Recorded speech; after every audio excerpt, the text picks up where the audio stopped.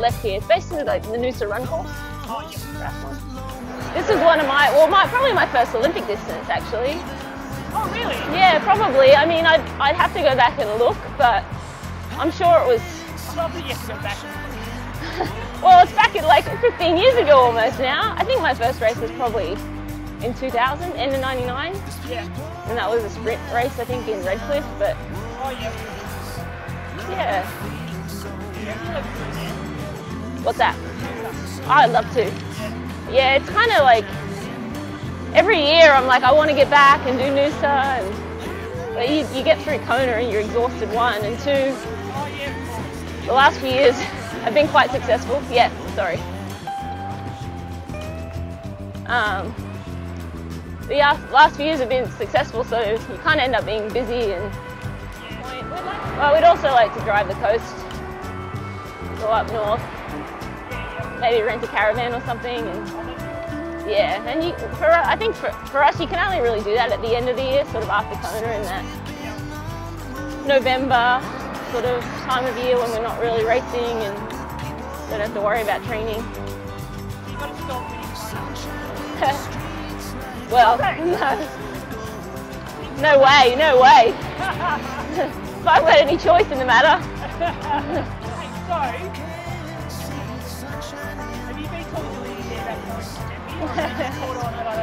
No, I just, I just, just I'm just like, huh, Steph, boring.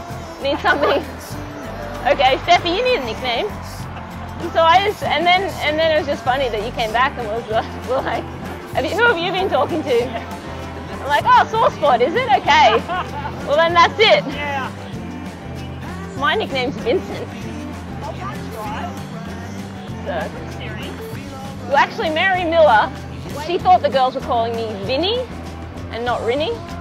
And I'd just come over from Australia, wasn't sleeping well with the jet lag, and she saw Sarah Groff and Lauren Groves in the grocery store, Yeah. and she was looking for, she was buying sleepy time tea for me, so she was trying to make friends. Yeah. Anyway, she's like, oh, I'm, I was going to get some sleepy time tea for Vinny. And, and they're like, wait, wait, wait, what? Who? You're like, yeah, Vinny.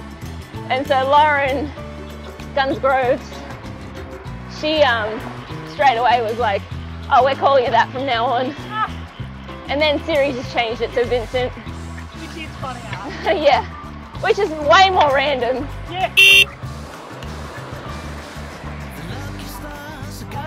Yeah, she gave away. She didn't have an angry beat though, but I think she was like, did, yeah. You need to give the toot toot. Yeah, yeah. People, people don't know. They give you the honk. That's an angry toot, and that's not going to get cooperation. We have every right to be riding double, you know, two abreast. You could be really inconvenienced your morning that badly. In touch wood, I think I've been saved many times just because you got to expect that person to be that angry, every person on the road to be that angry aggro, like out to kill someone, had a bad morning, Yeah, yeah. you know, That's what they call it. yeah, or whatever, yeah. In July last year, we went for a ride with Wendy, and we got caught.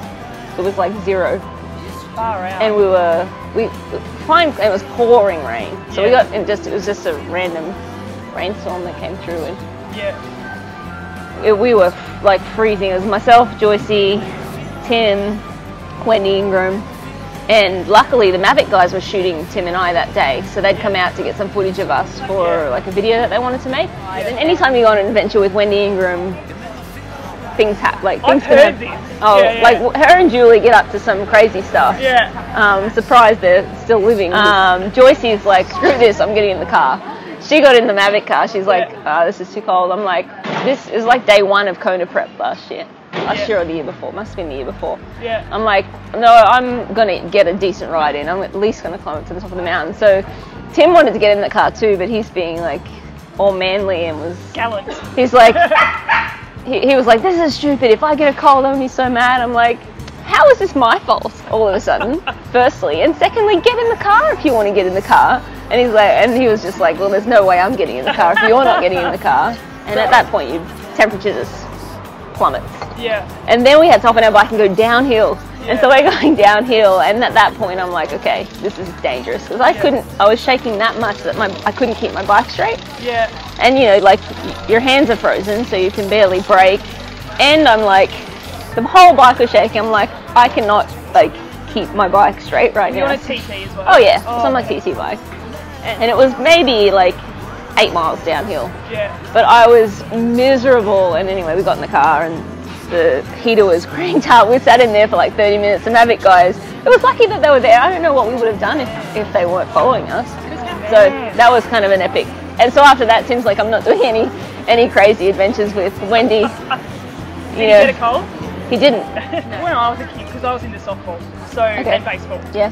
So I had like posters of guy called Ken Griffey Jr. and these Oh. like amazing baseballers, and then I also of like Friends Oh yeah. TV show, and I was thinking, I wonder if you had posters on your wall. Oh, for sure. Who like of who? Uh, well, my mine, wa- my guy was Michael Jordan, Oh yeah, yeah, yeah, of course. That friend, Friends. You had posters of people from Friends. Did you Yeah. say? Is the show that old? Wait, what are you saying? No, like I mean, How, old are you? 33. Yeah, same. Oh yeah. I didn't feel like it, it started until I was like, I don't know, maybe past having photos on my wall. No offense. Uh, I'm actually not a fan of the show Friends at all. Can't handle it. Really? There's a few shows I just can't handle. Everyone loves Raymond. Can't Yeah, no, handle. fan. can't handle that show. Um, that uh, three men, whatever. oh, and the kid, Oh, the what's that show called? brothers. Um, Um, I can't even remember the name of it, but it's very popular and everybody knows had it. Charlie Sheen in it. Exactly. Can't stand that show. No, me neither. Friends, not a fan either. I mean, I don't know. I'm just like, uh, So yeah, you don't need to. yeah. Seinfeld. I like that Yes? show. Yes. Excellent. Yeah. I, you know, I'm at Melbourne 20, no, like uh, two years ago. Oh, yeah. Yeah, he was very angry. So, yeah, Seinfeld was all. Well, this is why I came up with this idea was through Seinfeld. Oh, yeah. Comedian, because a he show does- about nothing. Well, yeah, pretty much. This is a show about nothing. Nothing. Yeah. You, nothing. yeah. Nothing. Nobody. No. Come on, Steffi. Oh, yeah. Damn you. Um. Oh, yeah, no, no. Back to the posters because we got sidetracked. Yeah. Um, so, do you ever think about if people have your poster on their wall? Does that freak you out? Um, it doesn't freak me out, but it is weird. Yeah. Yeah, Yeah. definitely. I mean, I get like, I, the more and more I race Kona, and the more and more obviously you get on TV then. So then you have a wider audience, but the more requests I get for people who want posters and like or autographs and stuff, and you're like, I don't know. It's kind. It's just weird. I mean, it's Yeah. nice, Yeah, yeah. but it's it's weird. yeah. But I think it's like I think it's really important to have posters of you guys out there. Yeah. It brings back that whole hero. Like I think it's really important for the sport. Yeah, definitely. And for the professionalism and Yeah. you know, forget about the fact that it's great for your sponsors. And, you know, at, at the very heart of it, it's Mm-hmm. great for kids to have heroes. Absolutely, and um, on it, like I think I feel like us as triathletes, for the most part, are very positive influences. Yeah. And uh, like I mean, I I get um, emails from random people all the time, yeah. And it's it's quite heartwarming because you I'll get an email from it like a young girl. I mean, I got one recently. A young girl was depressed and you know like Wow. intro, introvert and you know depressed and um, just randomly came across what I do, my story, and not that mine's inspiring or whatever, but I feel like I've taken control of my life and and and gotten to this point. And she just maybe watched me race um, in Kona, saw some footage, and was just some for whatever reason drawn to my story, what I had accomplished in the sport, and that motivated her to then get out and now she's racing triathlons and she's happy and she's got friends and she's not hiding at home and that's just one of many stories. I mean, I've people, yeah, I mean the, the stories that I receive are amazing. Like that, what, from what I'm, I'm just going about my business, doing triathlon racing because I love it, and um, but it's amazing how many people you don't even realize you touch. It's like you hear more and more, and you realize what you're doing is actually quite important.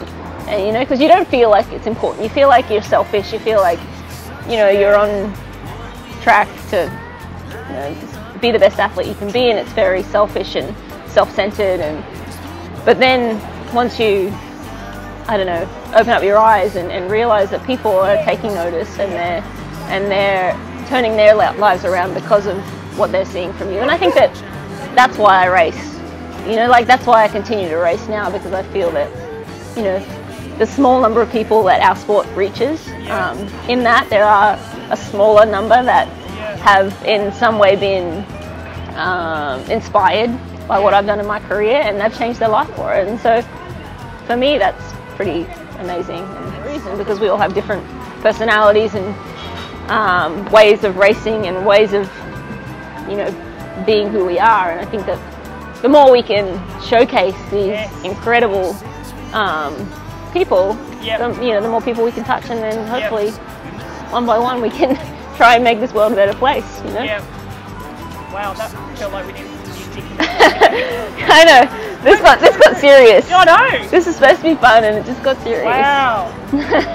um, so no, true. I, I, I fully believe that. I think it's really, really important to showcase how professional you are and put you up here. Absolutely. And that will grow outside of the triathlon as well. Yeah. And that's where it all just gets bigger and better. I I'd just love to see them really push stories within the sport. I mean, we've got some great personalities. Oh. You, you know, you look back at the NBA. How did they go from being, um, you know, basically a, a small, um, uh, a, a smaller sport basically to what it is today? They they had the personalities. They had um, they had Larry Bird. Then they had um, Magic. And then they pit the two against each other. The, Yeah. That helped build that sport, building those personalities and showcasing their rivalry. Yeah. That got more people interested. Yeah. And that's how they really blew up their sport. And I think Yeah. that can happen in triathlon. Definitely. But I mean, it takes it takes uh, it takes time and it takes people like you Uh, um, really stepping up and um, and pushing Yeah. forward for you know the professionals and Yeah. getting the stories out there. So um, the, a rivalry that I look at is myself and Rachel. Yeah. Um, that one, but again, we're both so nice and we're actually friends, so that's a problem. You're not that yeah, well, we try.